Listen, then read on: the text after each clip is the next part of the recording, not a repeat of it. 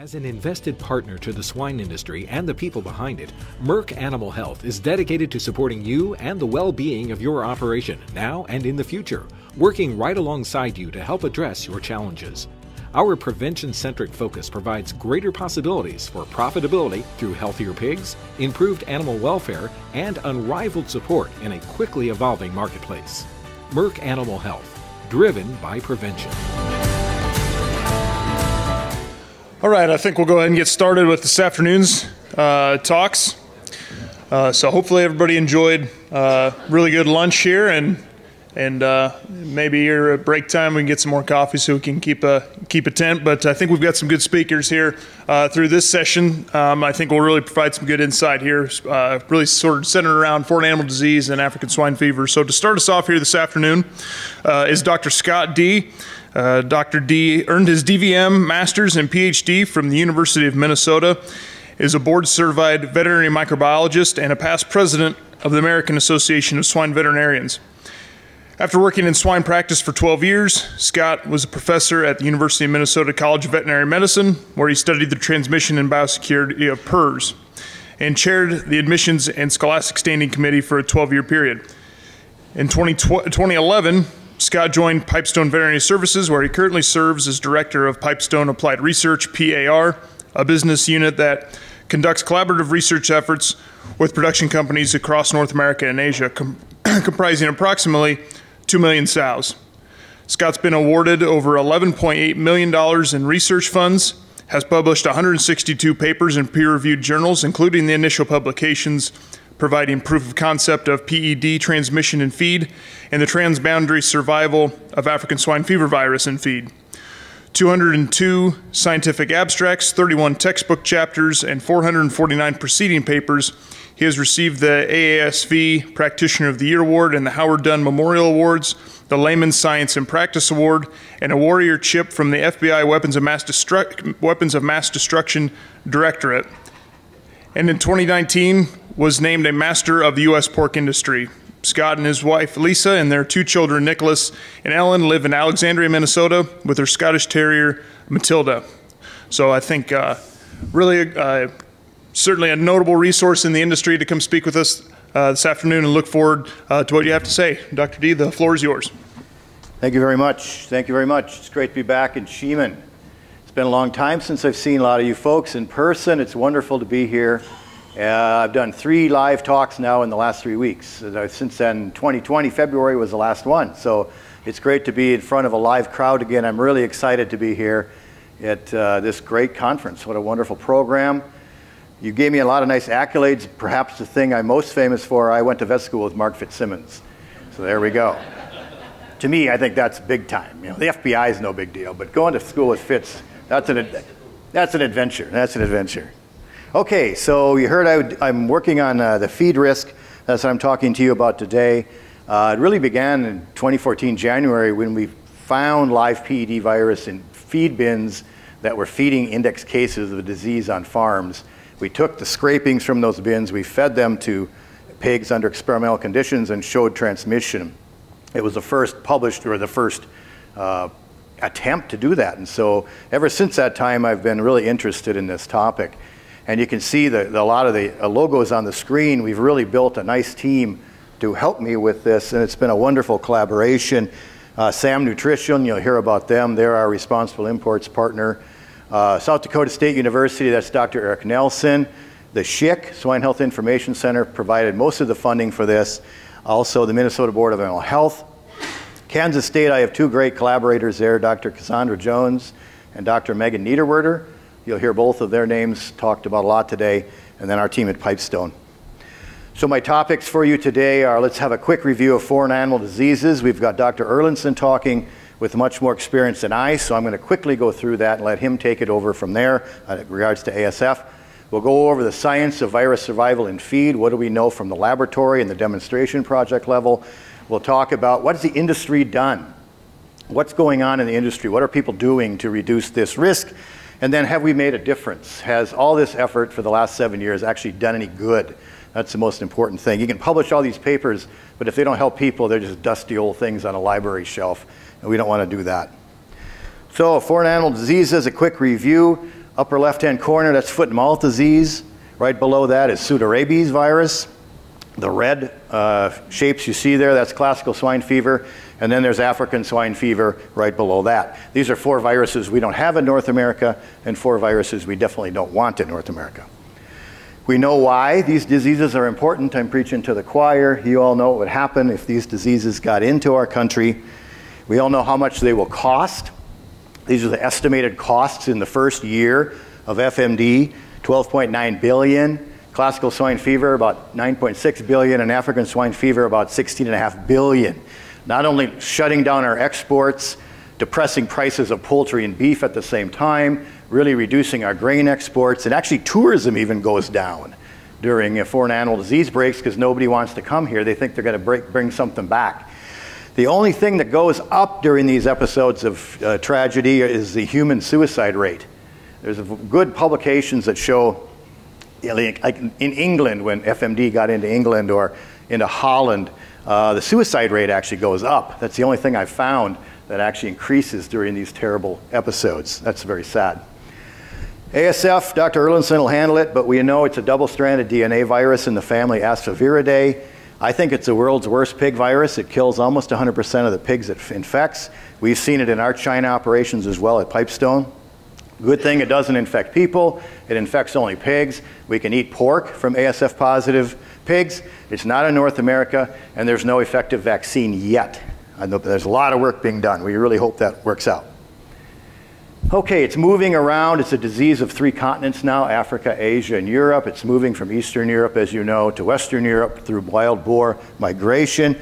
The wild boar is the primary way that the virus is moving in Europe. However, the European Food Safety Authority just announced a scientific opinion that feed is a low risk but cannot be ignored. We'll talk more about that. In China and Asia, you see the spread of the virus, first reported in uh, Shenyang, uh, China, in August of 2018. You kind of see where how the virus is spread throughout the continent. Spread very quickly. So it's basically all throughout Asia, and again, Keith's going to talk about that. Now, I, I call this the Trojan horse, feed the Trojan horse for the risk of viral transport and transmission. And you know the story about the Trojan horse? The Greeks brought the hiding in the horse, they brought it into the Troy kingdom, and they got out that night and killed all the Trojans. I think this is the same thing with feed and viruses, especially coming from countries that handle grain this way, as you see on the screen. This is actually how grain is dried in Asia. It's a cultural event. It's been, they've been doing it for centuries. You can see animal contact, uh, person contact, fomite contact, vehicle contact. I think a really good way to contaminate grain, which is then bagged up and sent to the United States. Now, we wanted to study that, and we've done several projects I'm going to briefly review for you, looking at whether viruses could live and feed over extended periods of time under representative conditions. The first attempt we looked at was could we set up models to simulate movement of contaminated feed from Asia to Des Moines or from Eastern Europe to Des Moines. So specifically Beijing to Des Moines and then Warsaw, Poland to Des Moines. And we set these models up to look at with using representative transport times. Uh, we spiked the feed with viruses. We put them in a, a container that would actually simulate the environmental situation over sea on land as regards to temperature and relative humidity. So we tried to do it as, as accurately as we could, realizing it was a laboratory study. And I have to say, uh, most of the work was done at Eric Nelson's lab at South Dakota, which is BSL-2. Megan Niederwerder with the BSL-3 facility at Kansas State is where the ASF work was done, as well as work with pseudorabies and classical swine fever. So if we didn't have the access, uh, the chance to work with Megan, who's fantastic to begin with, and then they have this wonderful facility there where we can actually work with these viruses. We'd still be playing with surrogates. This is what we learned from several studies at Megan's lab and, and my lab and Eric's lab. This is the, the simulation, moving viruses in the laboratory under control conditions from Beijing to Des Moines, from Warsaw, Poland to Des Moines. So there on the left, you see the ingredients we used. These are ingredients that we import from China. We wanted to use representative ingredients. So you can see lots of different kinds of soy products. Conventional soybean meal is high protein, low fat. Organic soybean meal is high uh, fat, low protein. Soy oil cake, you know, is the leftovers after oil extraction. DDGs, various vitamins, amino acids, various types of pet foods, and pork sausage casings. So all of these things are being imported into the United States from China, for example. Positive control of complete feed and negative control. Stock virus control on the bottom meant we, in our little experimental containers that we use to harbor these uh, ingredients and virus during the simulation, that was, that was the virus alone in the container without any feed matrix. Okay, just seeing if the virus could survive. So we put, the, we put the, all these ingredients together in these little vials. They've got a vented cap on the top. We put them in an environmental chamber. We program that environmental chamber to change temperature and humidity four times a day to simulate what would happen over land and over sea using actual weather data on land and sea. So we wanted to make it as real as we could. So what you see on the top are the various viruses that we used. Uh, SVA, that's Seneca virus. That's a great surrogate for foot and mouth disease virus. They're in the same uh, uh, virus family. Then you see the ASF. That's the work done in Megan's lab. Pseudorabies, PED, uh, porcine sapellovirus. That's a good surrogate for swine vesicular disease virus. Classical swine fever or hog cholera. There's PCV2, PRRS 174, vesicular stomatitis virus, and influenza A virus of swine. So everywhere on this chart you see a red box with a plus sign that means the virus was alive at the end of the simulation. Either the 37 day journey from Des Moines to, I'm sorry, from uh, Beijing to Des Moines, or the 30 day journey from Warsaw, Poland to Des Moines. Okay? And obviously, where you see green means it did not survive. So you see a couple things here. If you read down from the virus level, you see some of these viruses live really well in feed I mean, look how well ASF lived in those ingredients. If you just go down the ASF column, lots of red there. Okay? And then if you look at across, look at from the ingredient perspective. Some of these ingredients are really protective. Look at the soy. Look how well these viruses are living in soy. This is a highly repeatable event that's been uh, reproduced over and over and over again at Plum Island, Kansas State, South Dakota State. Everybody is reporting the same thing that for some reason soy-based products are, are very protective to not just one virus, but multiple viruses. Okay? So you can see some viruses don't live well at all in feed. If you look at influenza, vesicular stomatitis, PRRS virus 174, look at that. There's two times, two ingredients where this virus lived during these journeys in soy products. Okay? Soy products, I'm going to keep harm hammering on soy. We talk about PRRS breaks this summer and how could that happen, but look at the protective effect of soy. And I'm going to open the door for questioning whether PRRS virus is being moved around in the feed this summer over very short periods of time. It's not a foreign animal disease, but a domestic disease. So this is, this is at-home stuff as well as uh, across the pond. Now, Megan Niederwerder took this a little farther. She said, well, that was cool work. That shows survival during transport. But what about transmission? Megan took the virus ASF in her laboratory, BSL3. She put it in feed, she put it in water, and showed that both of those matrices could uh, transmit to the virus to pigs during natural feeding or drinking behavior. She calculated the oral dose of the virus in feed. So in, in feed and water is about 10 to the 4 in feed, if I remember, and 10 to the 1 in water. So very infective through water. Uh, she also showed through modeling that the more often the pig would consume feed, the lower the needed, the necessary dose to get infection. So it's not so much a one-time take a bite and it's over with, as you know, pigs feed all the time.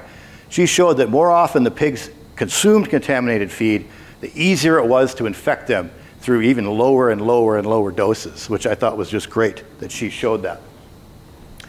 Megan also calculated the half-life. She took our transatlantic model showing uh, feed movement from uh, Warsaw, Poland to uh, Des Moines, and she reproduced that. But then she also calculated half-life beyond the 30-day survival. And she showed that about 12 days on average, with a range of what, 9, 9.6 to 14.2, this virus lives for a long time in feed, way beyond 30 days. So it's got a roughly a 12-day half-life uh, which uh, you know how that works, the time it takes for 50% of the uh, virus to decay. So that's, that's really shows you how stable this virus is in feed. Now, soy, soy, soy. We're hammering on soy. We bring in soy. The United States imports soy from several places. This is a paper that we did with Gil Patterson, who's got the ability to analyze the U.S. government harmonized tariff schedule data, which is, records all the imports coming into the United States from around the world. So he's able to actually show that in 2018 and 2019, we brought soy products in from several ASF positive countries listed there on the left. And you see the top three Ukraine, China, and Russia. And you see in 2018 and 2019, we were bringing in a lot of soy 100 some metric tons, 70 some, 70 some thousand metric tons in 2018 and 2019, respectively. So we can kind of understand that this is happening. Now, where does it, where does it come in? We also wanted to look at, you know, this is, this is, these are China imports. Uh, we're looking at different ports. So we got tons on the y-axis, we got time on the x-axis, and we got the various ports uh, outlined there where the products come in. So you can see the majority of the Chinese imports come into San Francisco, which makes sense, right? You can see that over time, though, the trend is going down. Look at that blue line on top there. That's into San Francisco. The, the, the import quantities are going down. Now, 2018 is when the announcement of China being ASF positive was. Look at the decrease that's happened and was, has continued through 2020. Now, I called the soy board about that and I said, How come you're seeing that sharp decrease? They said, That's because of the science and because of the awareness. And just that pressure that our industry, because of the concern over ASF importation through contaminated soy, has just put on the world, basically, put on, put on our nation. So we've done this without regulation. We've done this through voluntary good science and good education. So I'm happy about that. And again, 2020 data were even lower than 2019. So it's a good trend. Now, that work was all done experimentally, you know, as I told you, a little laboratory with some incubators and things. And it was criticized for that. And I, I think that's a fair criticism. You know, it's small amounts of virus, small amounts of feed. You know, does this really happen in the real world? Can virus live in an actual journey, in a shipment? under real world conditions. And so we set up a demonstration project. Demonstration projects, the goal is to show whether the laboratory data are, re, are valid under real world conditions. So this is a new paper we just published a bit ago. I'm going to show you, I'm going to see whether viruses can survive during a continental journey around the United States. So we're going to take uh, one ton totes. Instead of five grams of feed in the lab, we're going to expand to one ton totes. We're going to take conventional soybean meal, organic soybean meal, and complete feed. We're going to spike those totes with a hot spot, basically taking PRRS, PED, and Seneca in that little ice cube there you see on the right at five logs each, about a 10 milliliter ice cube. We're going to spike those totes and, and kind of create a hot spot like aflatoxin, for example, or salmonella. And it contaminates feed. Not a wide dispersal of contamination, but a focused area. So what we did was we took a full tote, we, we held it above an empty tote, and we opened the spout below and let the feed run from top to bottom. And when the, when the bottom tote was about uh, half full, I took that ice cube, and you can see in the middle there, that's my arm. I'm kind of going like this, and I'm flipping it into the tote, and then we're filling the rest of the tote up. So I don't want to know where that hot spot is. You can see on the right what it looked like. I did stop to take a picture, you can see the little bit of ice or so right in that red circle. So I think we created a nice little model. Now we sampled with a grain probe using a standard means of sampling from totes from the American Association of Feed Control Officials, validated by Dr. Jones from Kansas State. You can see we're going to take 10 grain probes from this, using this schematic from each tote, and we're going to mix it together in a composite. So there's our grain probe, there's our tote. You can see the, the relationship of depth. And that picture on the right shows you those 10 little flags, just to kind of that double X pattern. That's where I took those 10 samples, again, pooled it all together, and then we started to test it. We took that feed, it's about a kilogram each time we pooled into that composite. We washed it, we put it on a pate shaker, and let, it gave us the ability to wash the entire amount of feed. And we centrifuged that liquid down and took the supernatant off. I didn't want to take a subset of this sample, I wanted to, I wanted to test the whole kilogram. And we wanted to bulletproof this project because now what we're going to do is we're going to uh, we're going to take these totes and we're going to put them on a truck and we're going to drive them around the United States. And now they have PRRS, PED, and Seneca inside. And I want to be very careful that this is not a public relations disaster. So we had no other products on board.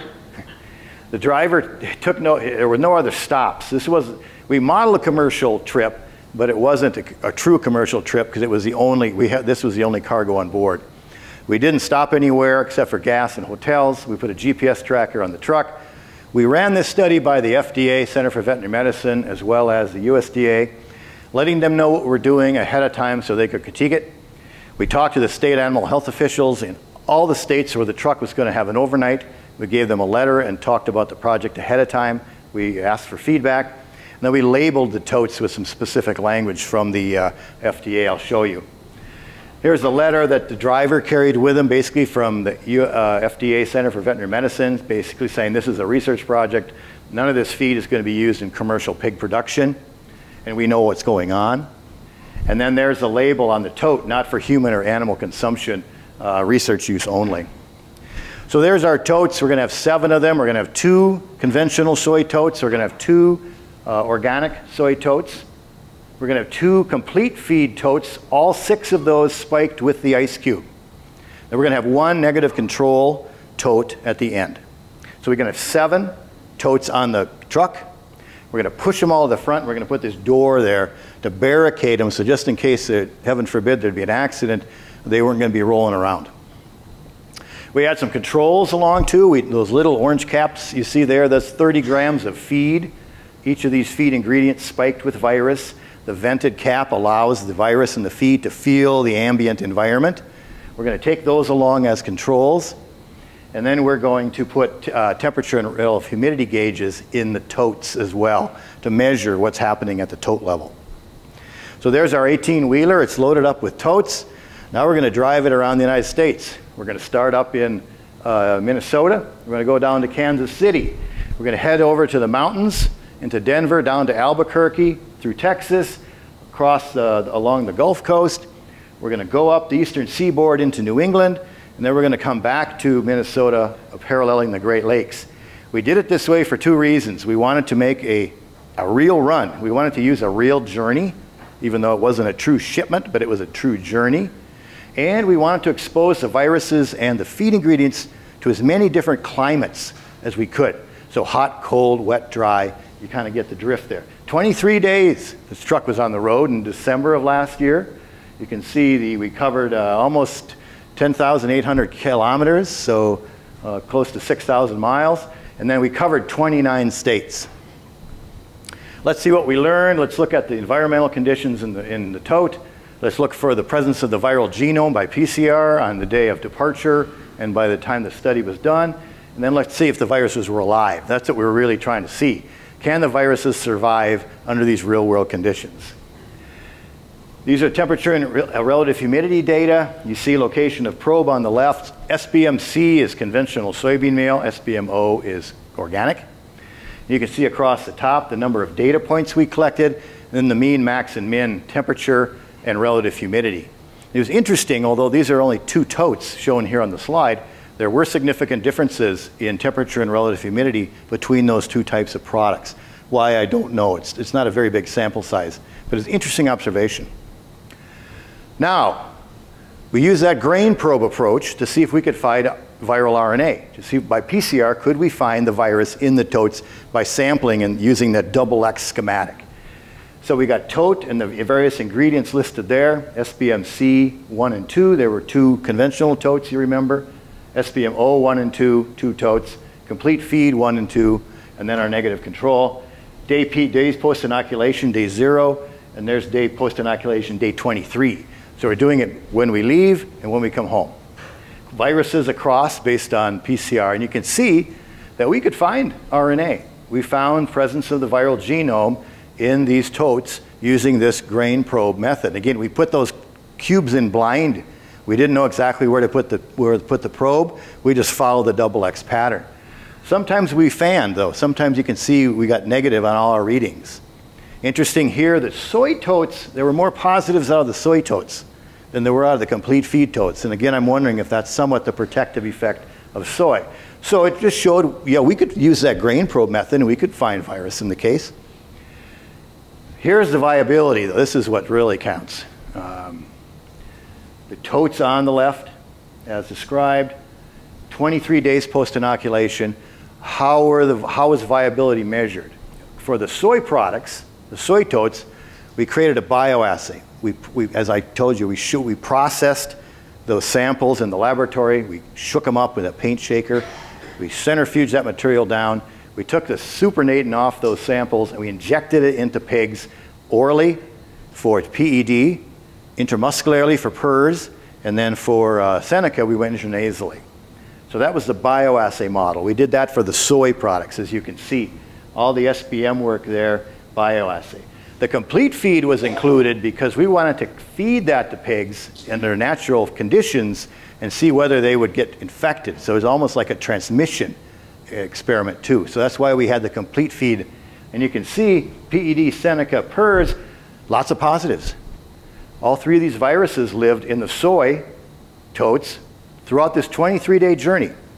No problem. We could, we could reproduce it by bioassay in the soy. No problem. In the complete feed, only the Seneca and the PED lived. The PRRS did not survive for 23 days in the, in the complete feed, which I think makes sense. That's a long time for PRRS to remain viable. So we showed that this virus, these three viruses, can survive in different feed ingredients under representative conditions. And that's why we call this evidence now. This isn't just an experiment. This isn't just a few data points. Collectively speaking, this is now evidence that I think shows for the first time that three significant pathogens of pigs can survive in feed ingredients under real world representative conditions. We had representative volumes, feed ingredients, journey, truck, you got it. We tried to set this up as real as you can make it. And the viruses lived. So to me, there's no discussion anymore whether viruses can live in soy or sometimes even in complete feed. Now, we can't predict frequency of this because this is actually, it's a huge experiment, but it's actually really small. It's only got one truck. It's only got seven totes, you know, so the sample size isn't very big. So we can't use this to predict how often this will happen, but we can, I think, very confidently say, in conjunction with the laboratory data, viruses live in feed. Certain viruses live in certain feed ingredients, what I call high-risk combinations, and I think soy is our leader there. All right, so now we've shown survival. What do we do about it? What's the industry doing with this information? How are they reacting? I've been doing quite a bit of work with feed additives to show whether the viruses could be neutralized in feed, in feed by certain ingredients that we add to the feed. So for this study, we did this in our BSL-2 facility. Our BSL-2 facility is set up with six individual rooms, filtered in and out, separate air spaces, so we can have treatments and controls in the same facility. Each room has its own feed bin. So I went out and I called my friends in the industry that work in the, uh, in the feed business or the additive business, and I asked them, would you be interested in this study? I'm going to take a block of ice with Seneca, PRRS, and PED. I want to treat feed or not, and I'm going to throw this ice block in the bin. So each room has its own bin. We're going to fill it up with treated or non-treated feed. We're going to challenge it with the ice block with those three viruses. And we're going to let pigs consume the feed under natural conditions. So you can see the companies there listed. Um, I wanted a lot of different products. I wanted a lot of different chemistry. I didn't want just all one type of chemistry. And I'm really happy to see, if you know anything about those products, we've got organic acids, uh, either multivalent or, or monovalent. We've got formaldehyde-based products. We've got medium-chain fatty acid products short chain, long chain mixes. We got uh, uh, essential oils in here. So a lot of different chemistries. So I was really happy about that. A couple things to disclose. You can see I've got some red asterisks there. Uh, Alltech Guardian, that's a product we developed and we sold it to Alltech, so I have a conflict of interest to disclose, just for transparency purposes. And then I asked all the companies to bring $30,000 in product to participate in this study. And so that was a requirement. You have to pay 30 grand and you have to bring enough product to handle the, the feed that we're going to manufacture. I put the Provimi group there because at the last minute they changed their mind and pulled out. Didn't want to participate. I don't know really why. But anyway, we had some producers that wanted to test it because they were using it, and so they paid the money. That's where the money came for for that. So here's our challenge. We're going to take an ice block, one pound ice block with the three viruses at equal concentrations. We're going to throw her in the bin, climb up the ladder, drop her in the hole, and let Mother Nature take over after that. Then we're going to measure. We're going to take feeder samples with Swiffers, as you can see, looking to see whether the viruses got into the room. Were the viruses present in the feed?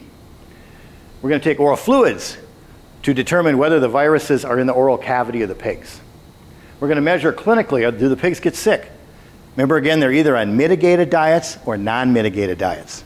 So treated or non-treated. Then at the end of the 15-day period of study, we're going to necropsy 30 of the pigs in each room. We had 96 pigs in each room. We're going to necropsy 30 and look for the presence of infection to see whether pigs got PRRS, whether they got uh, Seneca, whether they got PED. And what I'm going to show you mostly is some performance data, because I think that's the most interesting, average daily gain and percent mortality. We had five different experiments. I'm going to show you one of the five experiments.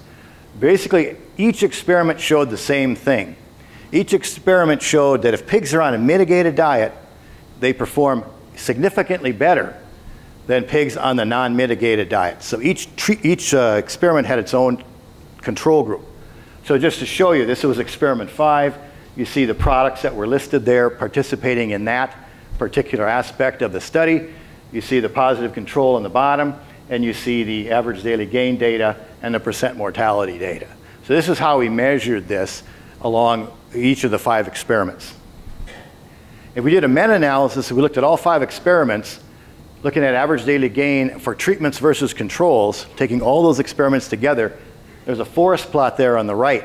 You can see that there's a positive response in each experiment, showing that the use of a mitigant is a positive thing to do versus a control group. So the mitigant treated pigs in 14 of the 15 products we tested had significantly better performance than the control group. Even in the presence of the virus, we could still find evidence of the viruses in the, in the feed of the mitigated diets, sometimes even in the bodies of the pigs on mitigated diets. But clinically, they just smoked, and we didn't hardly lose a single pig on a mitigated diet, with the exception of one product. But 14 of the 15 products, pigs performed significantly better than on a control group. So feed additives for virus control is, I think, a very good thing to do. Another thing we've been doing is uh, in regards to storage time. We developed a process in Pipestone called responsible imports, where we're thinking, can we take feed and hold it for a period of time? Because we know these viruses aren't going to live forever in this feed. They're going to slowly decay over time. Unless you freeze that feed, those viruses are going to slowly decay over time. So we said, well, let's, let's take feed, let's hold it for a period of time, say 30 days under controlled conditions, and kind of set up a process called responsible imports that we would hope other companies would like to use, other producers would like to use. And you see some of the principles of responsible imports, which is kind of an interesting set of questions there. The questions we never really have asked feed about feed in the past. It's kind of like how we talk about breeding stock. You know, where is it coming from? What's the status? Et cetera, et cetera. You see, you see the, uh, the questions there. We are changing human behavior in regards to how feed is considered as a risk, as well as how feed is handled. It's like health papers for feed.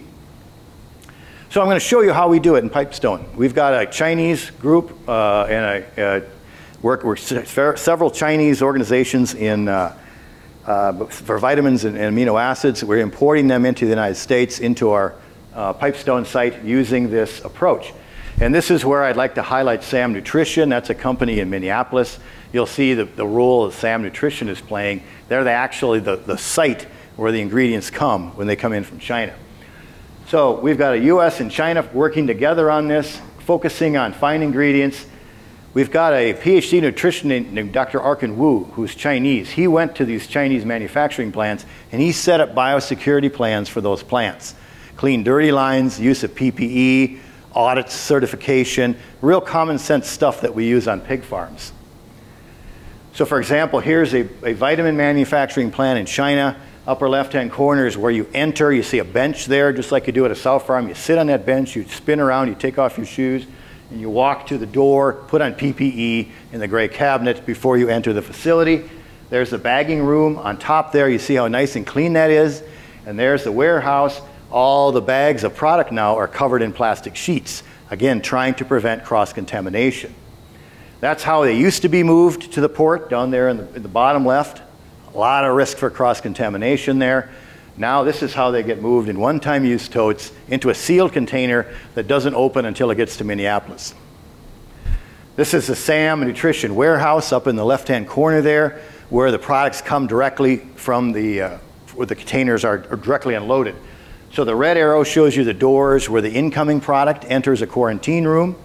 So that container is finally opened at that point and goes into a quarantine room.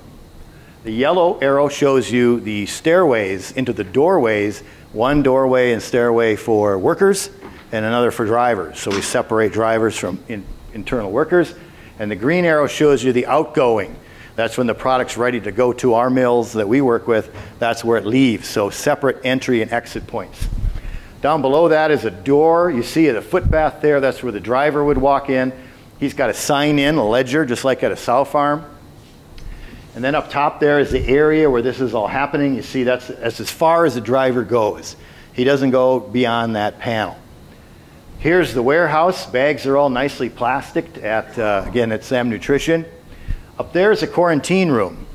This is interesting. This is an idea that Dr. Roger Cochrane, our director of feed mills, had and worked with Mr. Apurva Shah, who's the CEO of this company. Can we bring the feed right out of the container, put it in an all in, all out quarantine room, just like you would work with animals? And you can see what it looks like right there, and they have a door that closes once the feed is full, the room is full, and the, and the quarantine starts. Again, 30 days at room temperature, 70 degrees Fahrenheit. It's got its own separate forklift in that quarantine room, and if you ever have to enter, you've got foot baths and PPE to put on before you go in. So again, it's just a lot of common sense things we use on farms that we're now applying to feed. We're going to do a project that uh, will start this summer. We don't know at what temperature we should hold this feed. There's a lot of variation in industry. Everyone's kind of using a 30 day storage time because that's logistically feasible, but no one really knows what temperature that should be at. So we're going to take totes of soy, we're going to use ice cubes with Seneca, we're going to spike those totes, we're going to put them either at 70 degrees, 60 degrees, or 50 degrees Fahrenheit. Then we're going to feed that soy to pigs to see whether there's infectious virus. So a very, very stable virus in soy and soy obviously the most protective ingredient. That's going to happen this quarter four. Last thing is the impact. Has any of this done any good at all? Are people paying attention to this or am I just beating my head against the wall? I'm happy to say that responsible imports has caught on a lot in the US industry. There are many companies that are following a similar type of a program.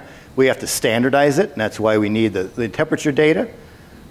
But also around the world, Canada, based on this work you've seen, has set up a national program where feed ingredients from high-risk countries with certification go into a holding area for a period of time at the area of the port before they go into the mill.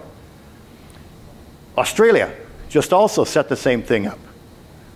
And as I mentioned, in Europe, the European Food Safety Authority just published the opinion looking at how viruses could move throughout the European Union, particularly ASF, and they said, well, feed, it's low risk. It's not nearly as high risk as wild boar or the movement of contaminated meat, but it is low risk, but it cannot be ignored due to the high consequence as well as the data that supports it. So feed kind of made the cut now. It's part of the decision tree in regards to risks. There will be a special issue on, from Transboundary Emerging Diseases, a very, very nice journal that I'm guest editing with Dr. Gordon Spronk that will focus on this topic of feed as a disease risk for transmission. Uh, feed as a risk for disease transmission, looking at reviews, cases, original research, and industry actions coming out at the end of the year. So I'm happy to say within about a seven year period of time, this very young area of science has already been placed into this position with a special issue in this very prestigious journal. I'm happy about that. The AASV, American Association of Swine Veterinarians, just wrote a position statement saying that we got to work together at, at, at the North American level. Canada can't do it by themselves. Mexico needs to be involved. U.S. needs to be involved. We got to work as a continent. And I think that was a great line in the sand that the AASV came up with. Great position. And finally, I hope I've convinced you, and I think I'm just about out of time, that there's a growing body of evidence, of scientific data, supporting the fact that certain viruses and certain feed ingredients are very compatible and can, and can be, viruses can be transported, they can survive, and they can be spread to pigs through feed. We've got scientific data to look at how to mitigate that risk, be it with additives, holding time. We're improving that information with new projects this fall. It's really changed how we operate. It's changed how we think about feed. It's changed how we handle feed. It's again, it's, I think it's impacted human behavior in a positive way. I think that's the best thing about this is we're getting better because of this information. And again, we got to work together as a continent. This is simply not just a country issue. This is a continental issue. So uh, that's it for me. I think uh, we got a few minutes maybe for some questions.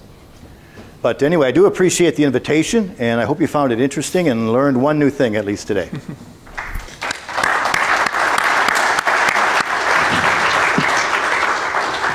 go ahead and open the floor for questions for Dr. Dee. Yes, Sarah.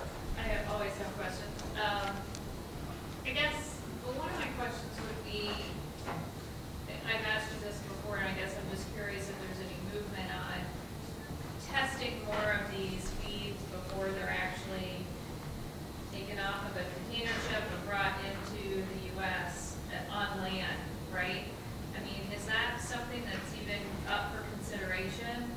It's, it seems, I can understand nobody wants to know that it's here, right? I get that. But if we were able to test before it ever comes off the ship, right? It's not actually on land.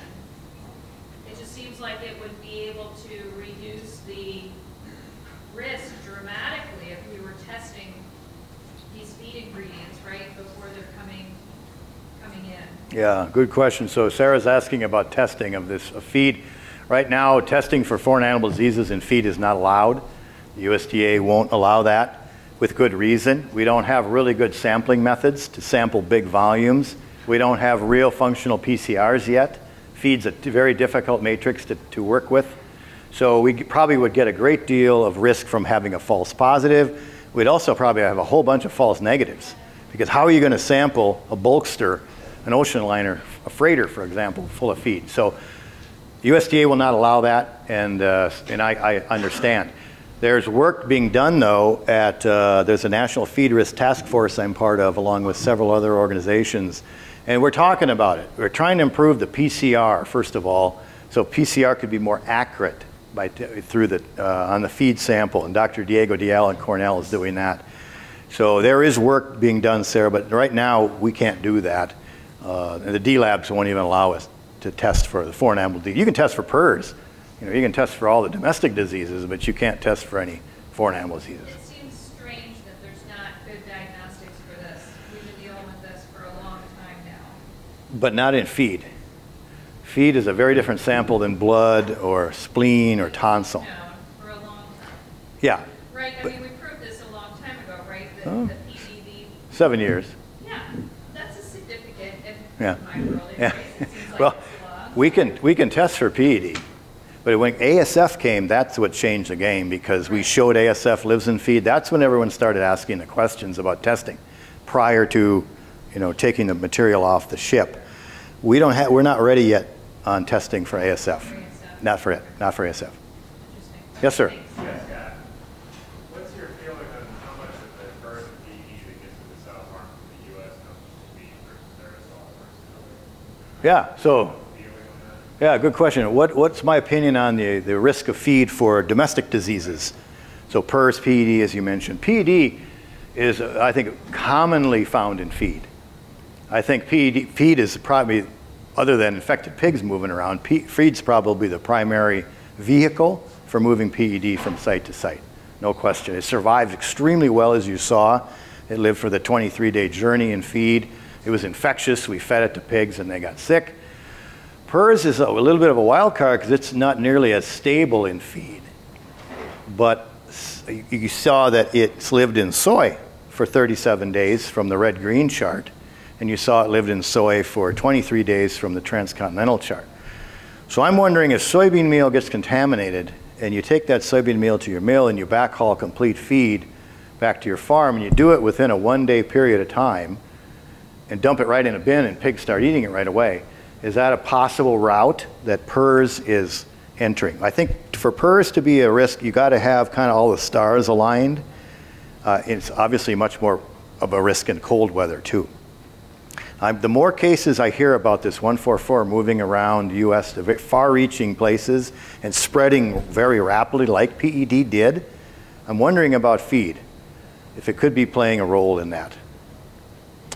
But I, to your question, I wouldn't put, I'd put feed, PRRS, I'd put uh, obviously pigs, we've got trucks, we've got air, then I'd probably start putting feed down there for, for PRRS. That's not as high as PED. Good question. That kind of puts it in the real world. You talk about backhauling, you know, hauling soy and then turning around and hauling feed. From a practical standpoint, if you go to these soy crush plants, if that's where the soybean meal comes from, have you identified possibilities where PED can get into the bean meal? And I can understand if it's in the bean meal, it might- it's gonna be Yeah. in the truck, but is that really a, a reasonable option Good question, Tim. your, your Yeah. organic soybean meal from China seems much more likely Yeah. to me than just, you Yeah. know, from your soy crush? Good question. So what's the, what's the, what's the potential for this model to be? We don't, I don't know. You'd have to go to the crush plants and look. It'd be easy to do if you get a chance to sample around the environment. You could, you could look for viruses there. We did that in mills with PED on the PED days and found the PED everywhere in the mill. Obviously, very political and a sensitive topic. It's just a hypothesis at this time. But, but if nothing else, because it's such a risk, that would be kind of the first place you might look to implement some of those biosecurity measures that you use all the time on the animal side. Yeah. We should start using those on. Yep, yep. I think one thing people could do right away is if they are backhauling from dropping off soy at the mill with complete feed, stop doing that. I mean, that's one thing I think you could do right away, just in case that could be true, because that's, that's kind of how it would have to happen, I think. You'd have to, within a very short period of time, you'd have to have, you'd have to contaminate your truck and then bring it back. I mean, there's other ways to contaminate trucks too, as we know. Scott, Yes, sir. some of the viral uh, mitigating products, is there one for PRRS, be it class or or type product, that seems to be more effective? Across all of these mitigants, the one product that performed the highest was Sal CURB. But there were many other products for PRRS that were quite effective as well. Basically, all 14 that I, te- I tested 15, one didn't work. The other products performed extremely well too. So any of those listed there, I believe, if I recall, had a really good efficacy against PRRS. But taken in context across the entire experiment, the Kemin product was uh, the most efficacious thank you